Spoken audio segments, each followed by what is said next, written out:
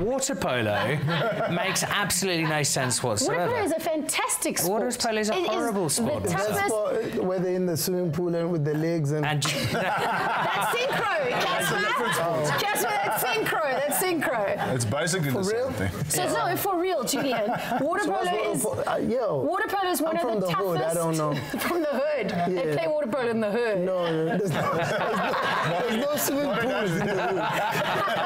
so school me, like school. Yeah, I'm sure there's a lot of people Yeah, so who water guessing. polo is actually the toughest sport that they've proven. So I believe that. rugby I'll- guy. I'll- I'll so basically, we are we are in the water polo pool. We swim, we wrestle.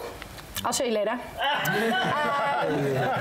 we have to tread water, and all of this while somebody is trying to drown you and steal the ball away from you, and you have to score goals.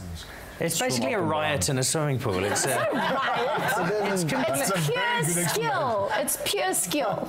but it, it's full of these giant people who are Giant all people, correct. skilled Like at- me. Look at me. Stand up. Shoulders. Look at that.